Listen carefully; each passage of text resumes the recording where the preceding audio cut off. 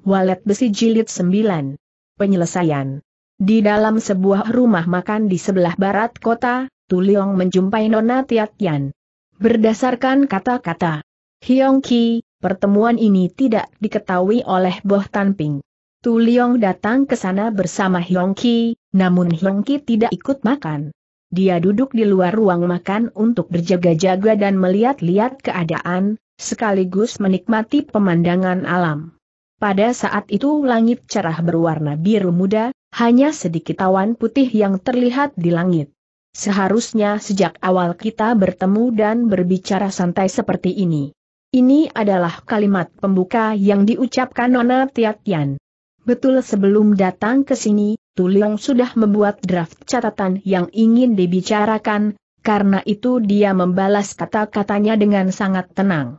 Namun sebelumnya kita berdua harus mempersiapkan diri untuk berkata dengan jujur. Dari awal aku memang bermaksud jujur, bagaimana dengan dirimu? Tiatian masih terlihat santai. Tentu saja aku akan jujur padamu jawab Tu Liong berusaha untuk ikut santai. Setelah itu Tu Liong langsung mengajukan pertanyaan. Kau datang kemari dan langsung melukai banyak orang. Apa tujuanmu melakukan hal itu? Semua orang yang kulukai adalah mereka yang sudah menjadi kaki tangan dalam kejahatan membantu mencelakai ayahku, aku hanya melukai bagian kecil tubuh mereka, itu sebenarnya sudah sangat baik sekali. Nona Tiatian, aku tertarik dengan kata yang tadi kau gunakan kaki tangan, kalau begitu menurutmu siapakah pelaku kejahatan sesungguhnya? Tiatian menjawabnya patah demi patah kata dengan jelas. Chu Tian. Tu Liong terus mendesaknya. Apakah kau punya bukti? Sebenarnya punya, namun saat ini sulit ditunjukkan. Kalau begitu mengapa kau tidak langsung menghukum pelaku kejahatan? Waktunya belum tepat. Memangnya apa yang sedang kau tunggu? Menunggu sampai kopor kulit peninggalan ayahku sudah ditemukan. Aku dengar kabar yang beredar. Menurut gosip katanya ketika ayahmu mendapat celaka, Kopor kulit itu sudah disita di gudang barang sitaan. Setelah itu Leng So Hiang menyuruh orang datang mengambilnya. Ini memang kenyataan, hanya saja belakangan aku ketahui kalau kopor ini jatuh ke tangan Chu Xiao Tian. Leng So Hiang selalu menghormati Chu Xiao Tian, karena itu dia tidak berani membocorkan rahasia ini keluar. Mengapa kau tidak pergi mencari Chu Xiao Tian karena kau selalu berada di sisinya? Kau terlalu tinggi menilai diriku. Apakah kau takut pada orang yang tidak memiliki nama sepertiku? Tentu saja aku tidak takut padamu. Namun aku tidak ingin melukai orang yang tidak ada hubungannya dengan masalah ini aku sudah pernah memperingati Wiekie Hang hal yang serupa, sekarang ini aku juga ingin memberimu peringatan yang sama. Jangan menghalangiku, kalau tidak, Aku datang kemari bukan untuk mendengarkan peringatanmu. Aku datang kemari karena aku ingin mengerti masalah yang sebenarnya terjadi. Kau tadi mengatakan bahwa kopor ini sedang berada di dalam tangan Chu Xiao Tian. Aku ingin melihat bukti apa yang mendukung kata-katamu ini. Cepat atau lambat aku pasti akan menunjukkannya padamu. Tu Liong lalu mengajukan topik yang baru. Apakah Boh Tan Ping tahu kau datang kemari? Dia tidak tahu. Bukankah tadi Hyong Ki sudah mengatakannya padamu? Sebenarnya sebelum aku datang kemari, aku sudah bertemu dengan Boh Tan Ping. Oh Nona Tiatian merasa terkejut, apakah kau yang sudah mengundangnya untuk bertemu? Tidak. Dia tiba-tiba datang mencariku apa yang kalian bicarakan? Membicarakan tentang masalah ayah Wia Kie Hong, Menurut kata-katamu pada Wia Kie Hong, ayahnya masih hidup. Hanya saja sekarang ini dia sedang berada di bawah penindasan Chu Xiao Tian. Tapi berdasarkan apa yang sudah dikatakan oleh Boh Tanping, cerita kalian berdua bertolak belakang. Bagaimana ceritanya? Dia mengatakan bahwa Wei Cheng belum mati, mengenai cerita bahwa dia meninggalkan kediaman keluarga Leng So Hiang untuk menunaikan tugas, itu hanyalah isapan jempol saja. Sebenarnya Leng So Hiang sengaja mengaburkan kejadian yang sebenarnya agar gerak-gerik Wei Cheng selanjutnya tidak akan diperhatikan orang lain. Apakah benar Boh Tan Ping berkata seperti itu? Kau seharusnya dapat melihatnya. Aku bukanlah orang yang suka berbohong. Kau juga harus mempercayai kata-kataku. Kalau Boh Tan Ping tidak sengaja mengatakannya untuk menggoyang fakta, dia pasti sudah menjadi korban penipuan Chu Xiao Tian. Wei Cheng sebenarnya sedang di bawah tekanan Chu Xiao. Suatu saat nanti kau pun pasti akan mengerti. Tu Liong merasa sulit membuat kepastian. Sebenarnya kata-kata siapakah yang dapat dipercayainya? Tapi dia sangat menghargai jawaban Tiat Yan, karena pemecahan masalah ini sangat menentukan banyak hal. Sementara waktu dia mengesampingkan masalah ini dia lalu mengajukan pertanyaan yang lain. Tiat Yan, kapan kau berencana untuk turun tangan memaksa Chu Xiao Tian menceritakan tentang kopor kulit berwarna kuning itu? Malam ini. Apakah kau yakin bisa mendapat jawabannya? Kalau kau tidak ikut campur, setidaknya aku tidak merasa khawatir. Tiat Yan menjawab pertanyaan dengan sangat pandai. Tentu saja ada kemungkinan kata-kata ini keluar dari lubuk hatinya yang terdalam. Pendek kata, kata-kata Tiat Yan ini tersirat niat persahabatan. Baiklah, aku akan menggunakan waktu yang tersisa untuk membuktikan yang mana yang benar yang mana yang tidak benar. Malam ini aku tidak akan berada di rumah. Nona, aku harus memberitahu satu hal. Kau mungkin tidak memiliki kesempatan seperti yang kau bayangkan. Tiat Yan tertawa tapi tidak berkata apa-apa. Setelah itu kedua orang ini bersama-sama makan makanan yang sudah terhidang di depan mereka dengan santai. Selain itu mereka masih mengangkat cawan arak dan saling tos. Nona, ada satu hal yang sangat mengganjal di dalam hatiku. Oh? Mengapa kau bisa menerima Boh Tanping yang bermuka dua? Tiatian berkata dengan penuh perasaan, orang itu sudah panggil paman dari kecil. Setelah aku tahu dia masih mempertahankan hubungan dengan Chu Xiao Tian, aku tetap tidak bisa berpaling memuka darinya. Lagi pula ini bukan waktu yang tepat untuk berpaling. Betul kata-katamu yang terakhir adalah kata-kata yang paling masuk akal. Tiat Yan tertawa manja. Dia memiliki sifat lemah lembut yang biasa dijumpai di kalangan nona muda, namun dia juga memiliki ketegasan yang dimiliki kaum pria. Aku datang ke Pahia, lalu mengenal kau dan Wei Kie Hong, aku merasa senang. Sayang sekali di antara kita terdapat hubungan balas budi dan balas dendam yang rumit. Masing-masing punya pendirian sendiri, kalau tidak. Tanda petik. Nona, aku adalah orang yang sangat menjunjung tinggi kebenaran, dan menentang orang-orang yang berbuat jahat. Nona tenang saja. Di dalam situasi apa pun, kita bertiga selalu bisa menjadi kawan baik. Benarkah? Aku tidak pernah berbohong. Kalau begitu aku pantas memanggilmu dengan sebutan tuto aku. Tu Liong hanya tertawa, Tiatian juga ikut tertawa. Sepertinya semua masalah persahabatan di antara mereka sudah terselesaikan. Adik yang sekarang Tu Liong sudah menyebutnya dengan panggilan yang lebih akrab.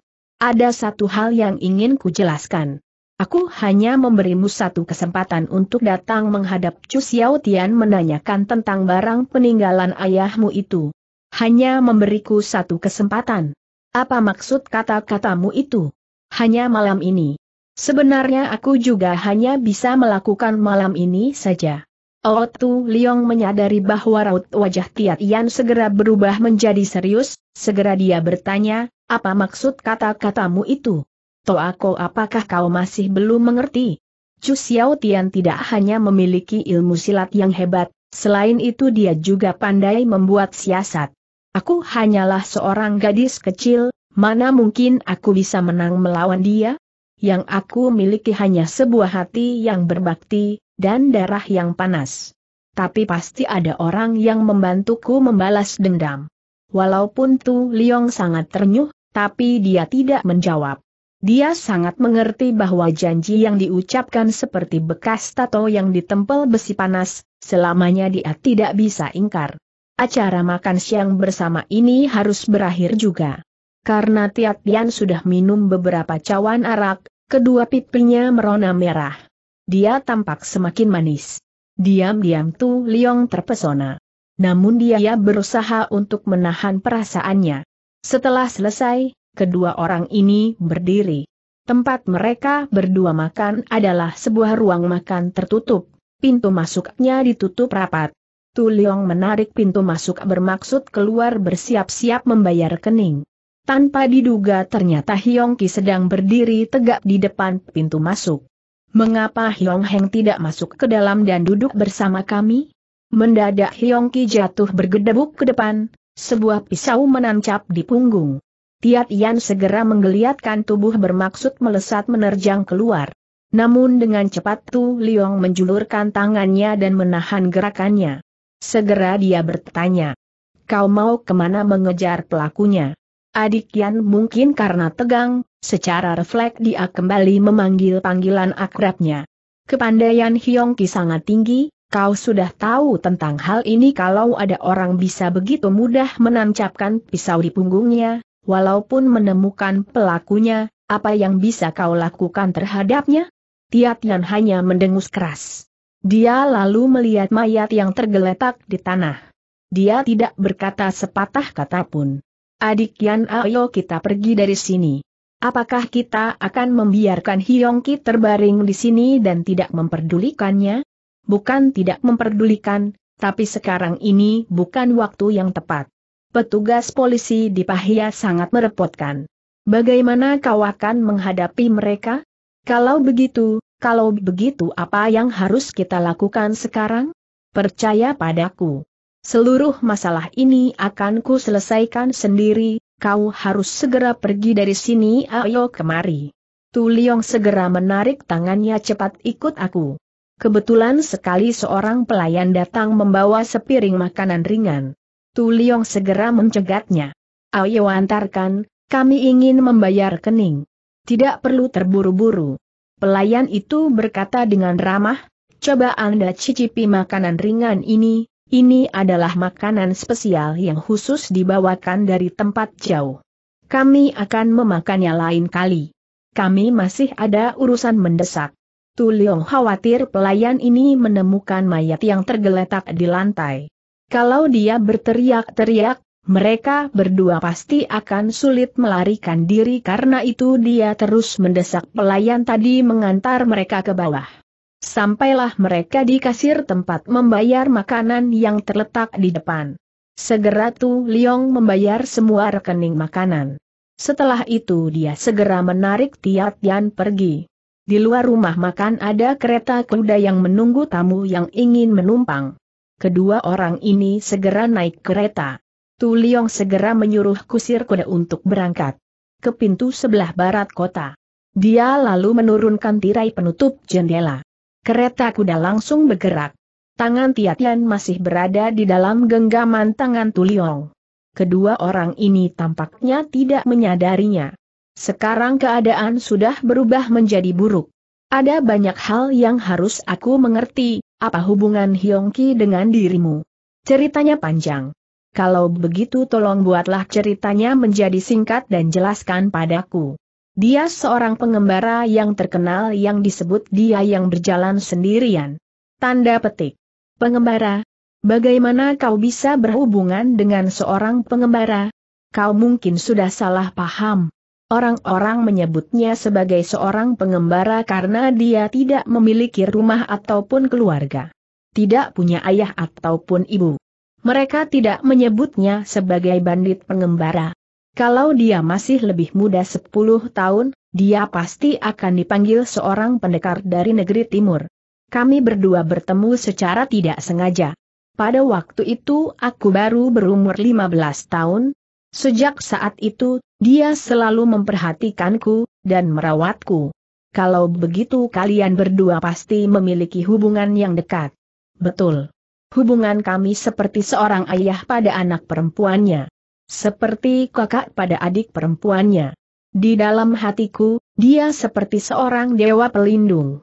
Kalian adalah orang yang sangat lurus. Sekali melihatnya, aku langsung merasa kagum padanya, betul juga dia mempunyai sepucuk surat, ini adalah surat rahasia yang ditulis oleh Chu Xiao Tian untuk Boh Tanping.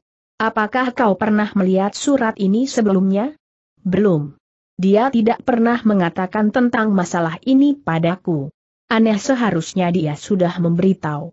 Dia tidak senang mengatakan kejelekan orang lain. Aku pernah bertanya padanya, bagaimana pandangannya terhadap Boh Tanping dia hanya tertawa dan tidak berkata apa-apa. Aneh, di hadapanku dia sudah beberapa kali mengatakan kejelekan Boh Tanping adik yang dia begitu memperhatikan. Dirimu. Kalau kau harus menghadapi seorang penjahat, dia pasti akan mengingatkanmu. Sejauh pengetahuanku, dia adalah orang yang cuek, tidak banyak peduli. Tapi di depanku dia selalu tertawa dengan sangat hati-hati berkata satu kalimat, melakukan suatu hal, selalu dilakukan dengan penuh perhatian. Baiklah, sekarang kita bahas pertanyaan kedua. Kira-kira siapa yang membunuh Yongki? Menurutmu? Aku yakin orang itu adalah Boh Tanping. Mengapa kau tidak menyangka orang lain? Mengapa kau langsung menunjuk padanya jangan menilai dengan subjektif? Aku mengatakan hal ini karena aku memiliki sebuah bukti apa buktinya. Akan jata yang digunakan oleh Boh Tanping adalah pedang bergigi gergaji. Betul. Kemarin ini dia pernah menghadang jalanku, lalu bermaksud membunuhku. Untung saja sebelum dia berhasil, Hyongki datang menolongku. Apakah benar terjadi seperti ini? Tiat yang terlihat sungguh terkejut. Bahu kananku terluka parah. Sekarang bahu ini sudah kuobati. Kalau tidak percaya, silahkan lihat. Aku percaya, hanya saja pendapatmu yang mengatakan bahwa Boh Tanping sudah membunuh Ki, aku tidak setuju. Kenapa? Selain senjata pedang bergigi gergaji yang digunakan Boh Tanping, dia tidak memiliki senjata yang lain. Terlebih lagi pengalamannya berkelana di dunia persilatan, Boh Tanping tidak mungkin menyerang seseorang dari belakang. Aku percaya kesimpulan yang kau buat. Apakah mungkin ada orang lain yang ikut ambil peran? Siapakah orang ini? Aku curiga Chu Xiao Tian. Tebakan yang dibuat oleh kedua orang ini terasa saling menuding. Mengapa kau curiga dirinya walaupun hati Tu Liong mulai panas, namun dia tetap terlihat tenang. Hiong Ki selalu mengorek-ngorek dan menyebarkan rahasia pribadi Chu Xiao Tian. Tentu saja Chu Xiao Tian harus membunuhnya. Tanda petik. Sekarang aku akan mengantarmu pulang. Malam ini sebelum kau bertemu dengan Chu Xiao Tian, aku ingin bertemu dulu denganmu. Berkata sampai sini, Tu Leong segera memerintahkan sais kereta kuda agar berputar kembali ke Gang San Poa untuk mengantar Tiat Tian. Setelah Tiat Tian turun, kereta kuda berputar kembali menuju timur ke arah perumahan mewah. Tidak lama kereta kuda sampai di depan kediaman Leng Tai Ya.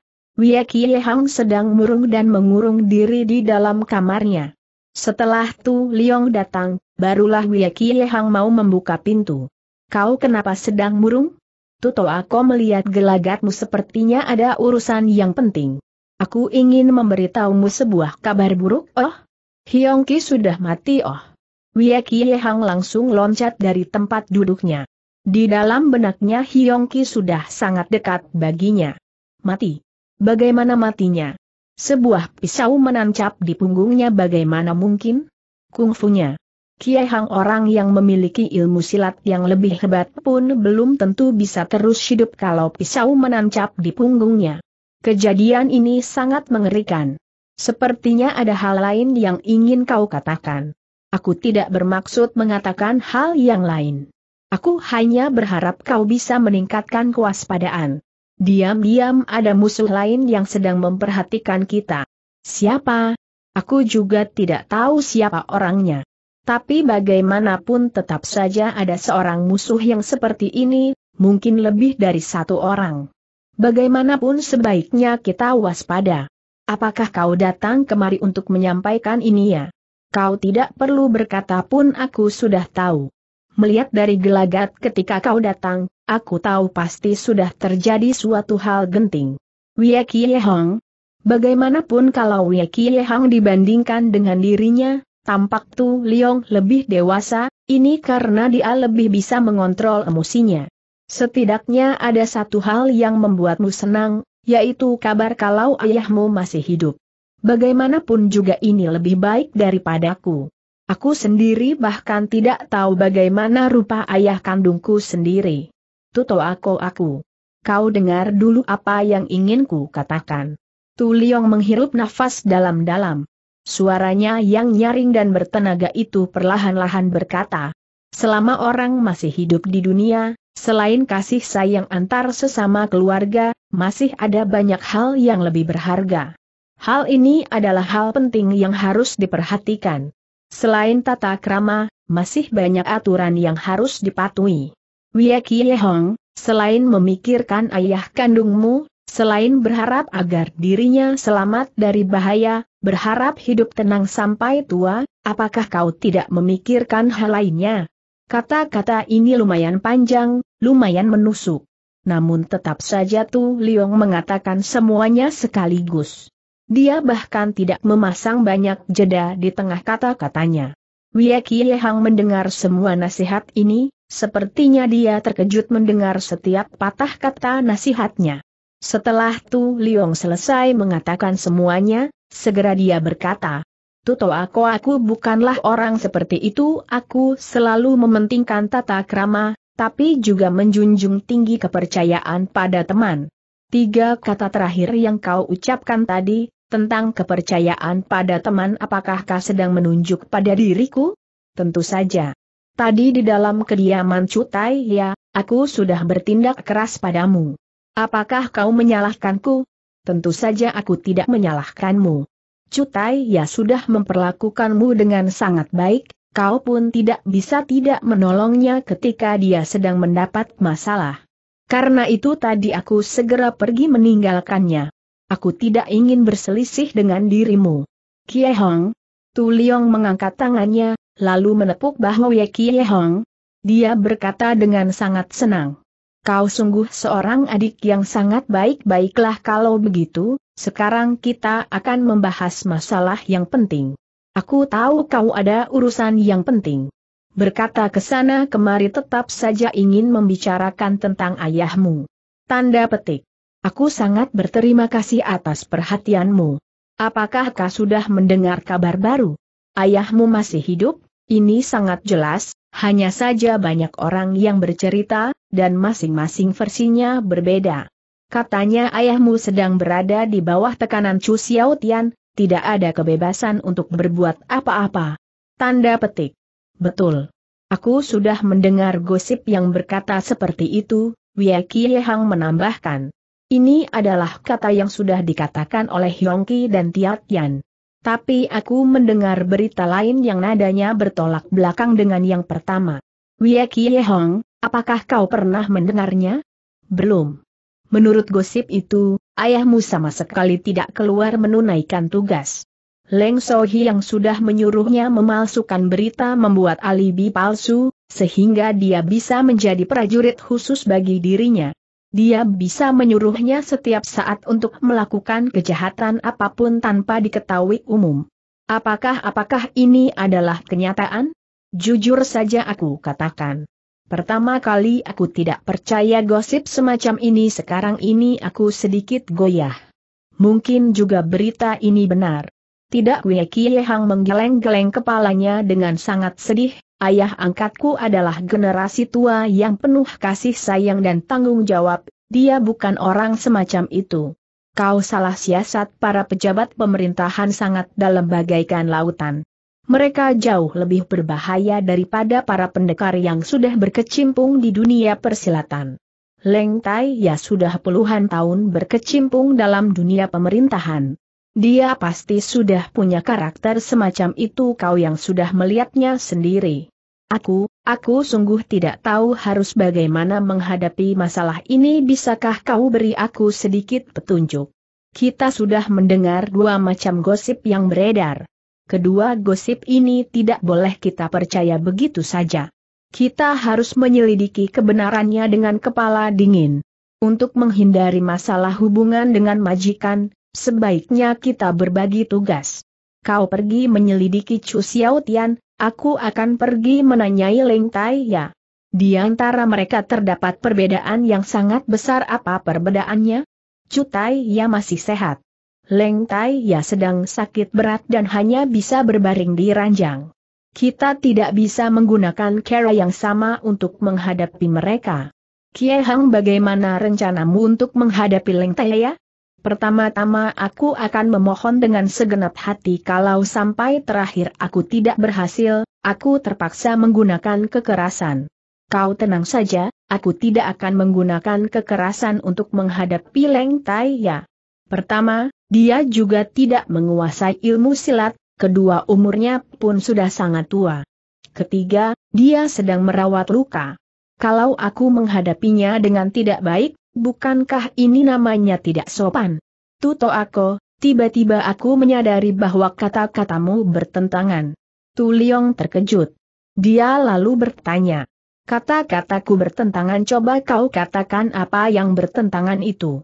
Tadi kau mengatakan bahwa selain hubungan kekeluargaan, masih ada banyak hal yang harus lebih dijunjung tinggi.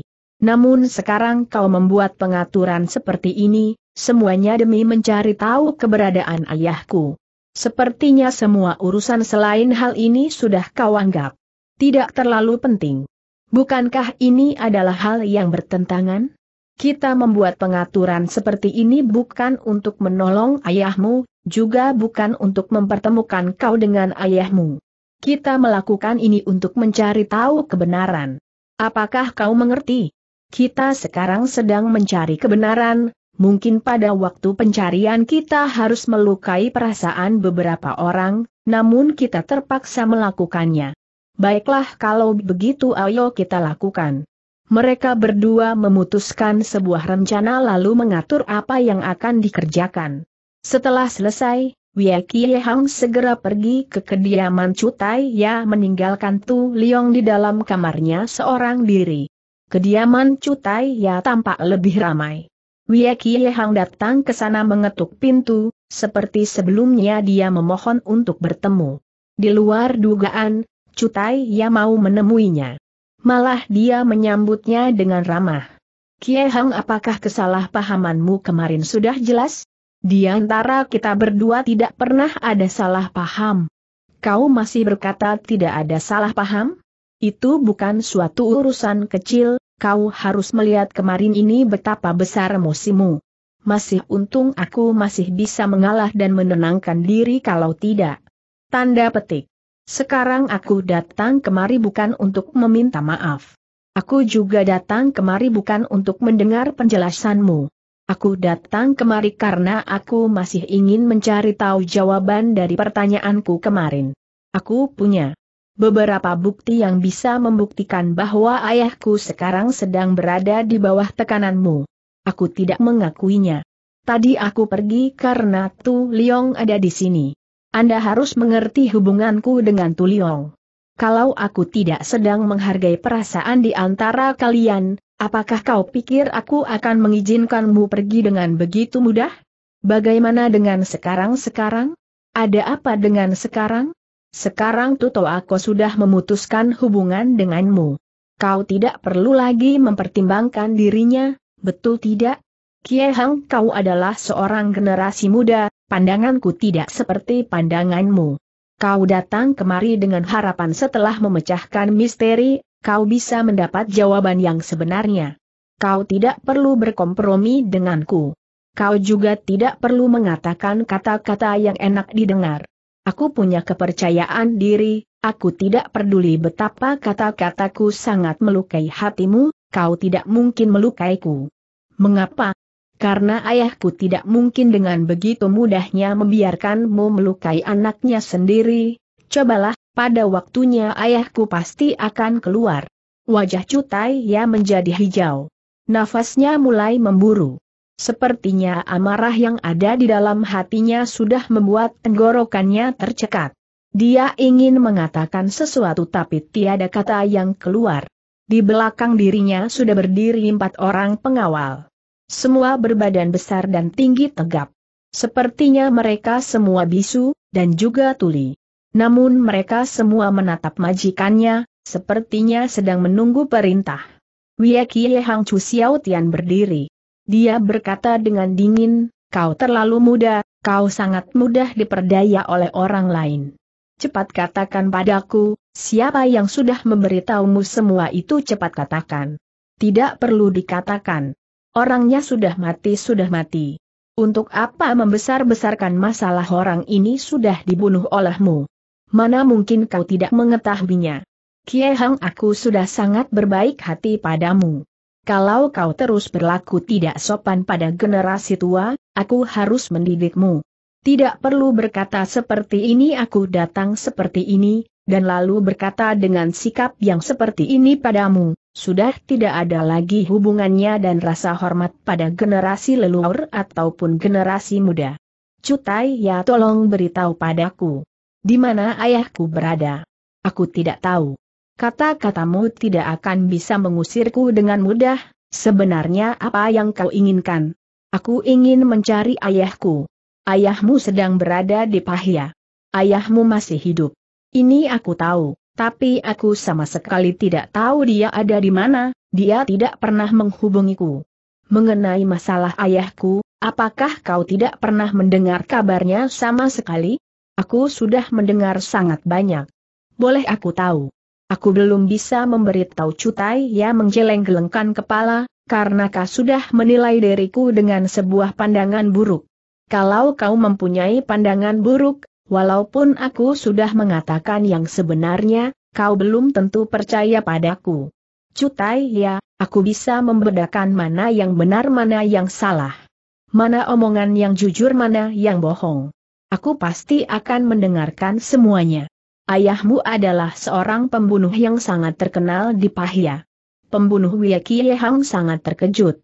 Kalau tidak percaya kau boleh bertanya-tanya. Lagi pula semua orang di Pahia sudah mengetahui masalah ini. Jangan-jangan ayahku sudah mengandalkan hidupnya dengan membunuh orang lain.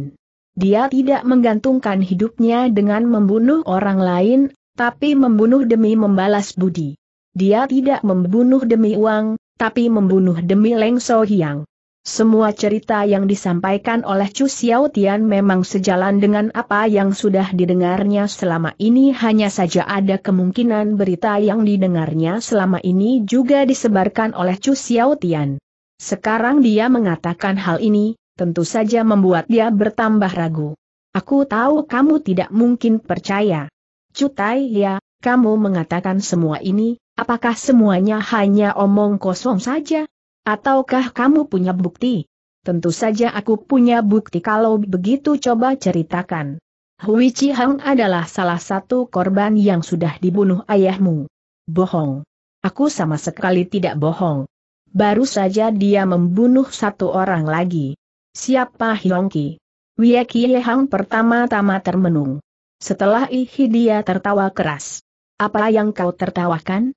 Aku sedang menertawakan dirimu. Kau sungguh sangat licik. Jelas sekali Hiongki sudah dibunuh olehmu, lalu kau mengatakan kalau ayahku yang membunuhnya. Apakah kau pikir aku akan langsung mempercayainya? Suatu hari nanti kau pasti akan percaya. Kau mengatakan kalau aku melihatnya sendiri, aku pasti akan percaya, betul? Bukan kau akan percaya setelah aku mati. Wie Kie Hang tertegun sangat lama. Dia dapat melihat gelagat yang ditunjukkan Chu Xiao Tian. Dia tampak sangat serius dan sangat murung. Dia tidak tampak seperti sedang bercanda, juga tidak sedang berbohong.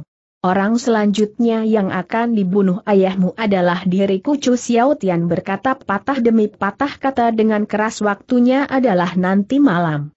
Mengatakan perihal kematian adalah urusan yang menakutkan yang lazim ditutup-tutupi.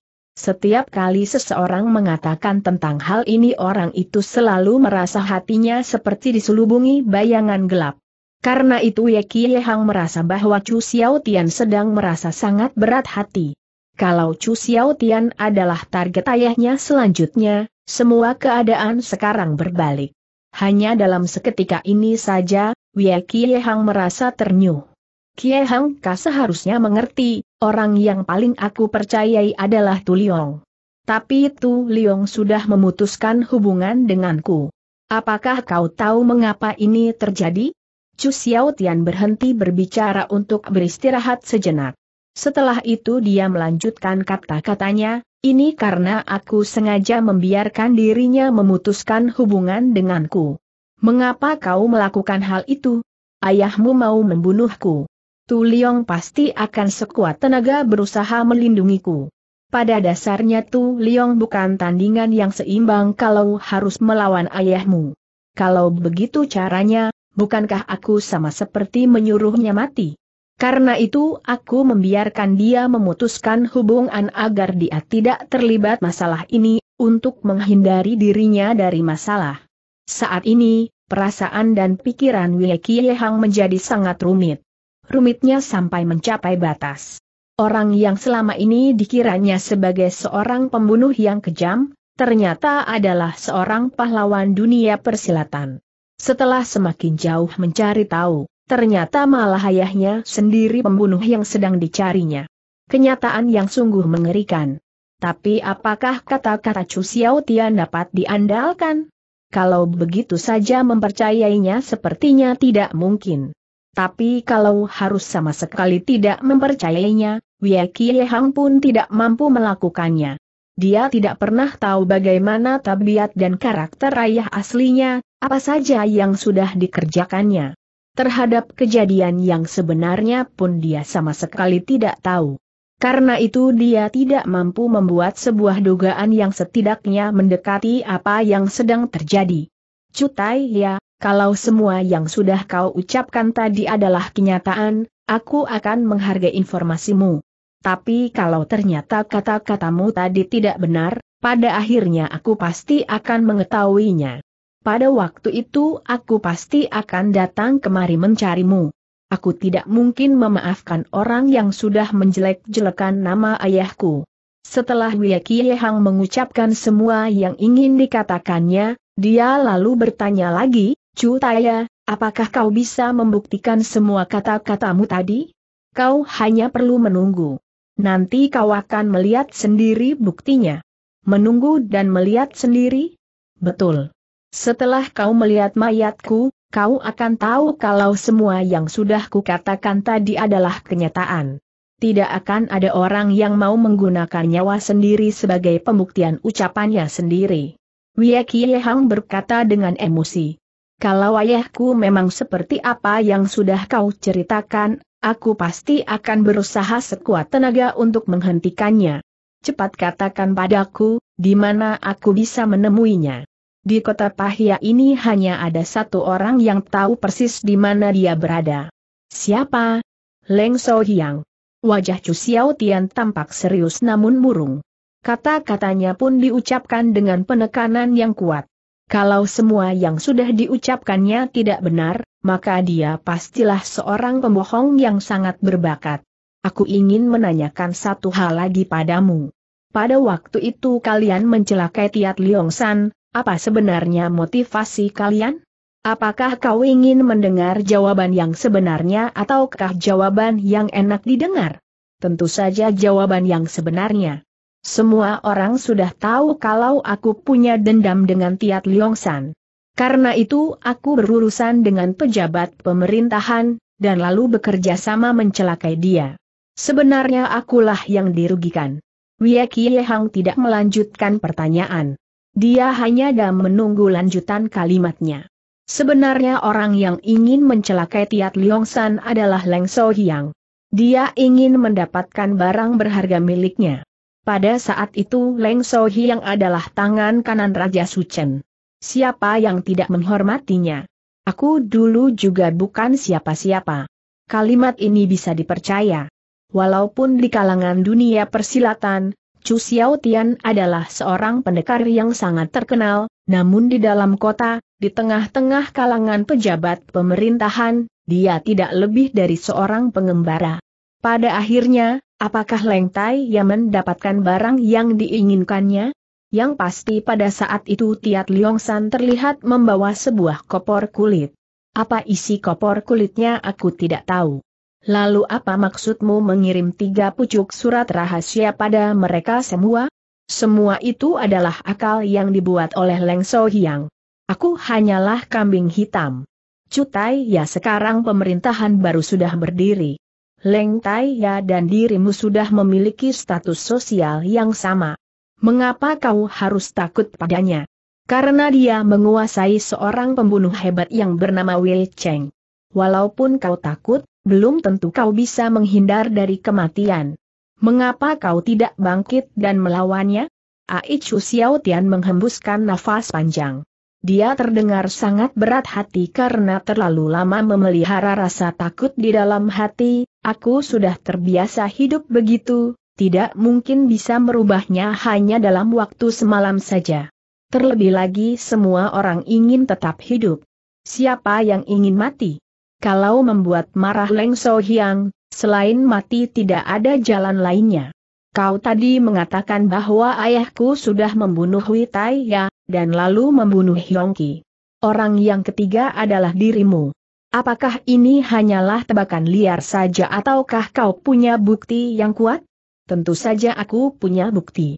Kalau begitu tolong ceritakan padaku. Tadi Wei Cheng sudah datang kemari memberiku peringatan. Tadi? Betul. Tadi dia berkata kalau aku tidak bisa mengekang Tu Liong, kalau Tu Liong masih terus ikut campur dalam urusan ini, sebelum matahari tenggelam dia pasti akan datang membunuhku. Kalau kau sungguh ingin mengekang Tu Liong, kau hanya perlu memintanya, dia pasti akan segera menuruti perintahmu.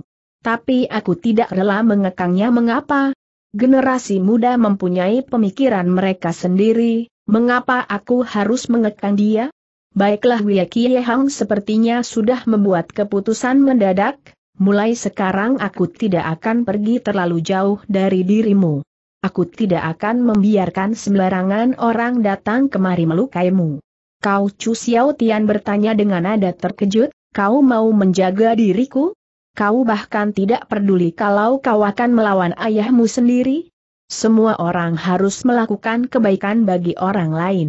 Kebaikan untuk umum dengan keinginan pribadi selamanya pun selalu bertolak belakang.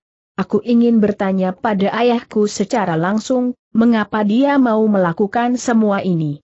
Setelah berkata sampai sini, tiba-tiba ada seorang pelayan rumah yang masuk ke dalam. Dia lalu berbisik-bisik di samping telinga Chu Xiao Tian. Chu Xiao Tian lalu mengibaskan tangannya, pelayan itu segera pergi keluar. Ada tamu. Oh secara refleks Wei Kie Hang tertegun jangan kaget, ini bukan ayahmu. Tamu ini adalah Tiat Tian. Kalau begitu sebaiknya aku sembunyi bersembunyilah di belakang lemari. Wei Kie Hang segera bersembunyi ke belakang lemari. Tepat ketika dia selesai menyembunyikan dirinya, di dalam ruangan terdengar suara seorang perempuan. Cutai ya Tiat Yan bertanya dengan dingin tidak berani, aku bukanlah tuan besar. Aku biasa dipanggil dengan sebutan Tiat Yan, anak perempuan Tiat Liong San, hari ini aku datang kemari memohon penjelasan darimu. Nona Tiat, silahkan duduk. Berdiri pun tidak apa-apa, aku hanya ingin menanyakan sebuah barang. Aku tahu. Kau tahu. Tolong katakan. Sebuah kopor kulit berwarna kuning tidak salah. Kalau Nona ingin mencari kopor kulit itu, Anda sudah mencari orang yang salah kopor kulit itu tidak ada padaku. Aku bahkan tidak pernah melihatnya. Kalau begitu ada pada siapa? Ada pada Leng Sohi yang Tiat Yan berkata dengan nada dingin, Cu Taya, untuk apa kau melakukan hal ini jangan menganggap aku Tiat Yan adalah anak kecil. Anda adalah dalang di balik pembunuhan ayahku. Yang lain hanyalah kaki tangan yang membantu Anda. Tolong Nona pertimbangkan sebentar. Aku hanyalah seorang pengembara yang tidak memiliki nama, sedangkan Leng Sohi yang adalah tangan kanan Raja Suchen. Kalau kami berdua dibandingkan, status kedudukan kami sangat jauh berbeda. Apakah menurutmu dia akan mendengarkan kata-kataku? Atau sebaliknya aku yang harus mendengarkan dia? Kata-kata ini bukan tidak masuk akal. Kekuasaan menekan orang, pada waktu itu di dalam kota Pahia, Leng So yang memang memiliki kedudukan yang kuat di dalam pemerintahan. Mana mungkin dia bisa dikontrol oleh seorang pengembara? Jadi menurut Anda kopor kulit kuning itu sekarang sedang berada pada Leng So yang tidak salah. Apakah Anda bisa menanyakannya langsung padanya? Tentu saja bisa. Baiklah kalau begitu kita pergi-pergi ke mana? pergi mencari Leng So Hiang dan menanyakan tentang barang itu.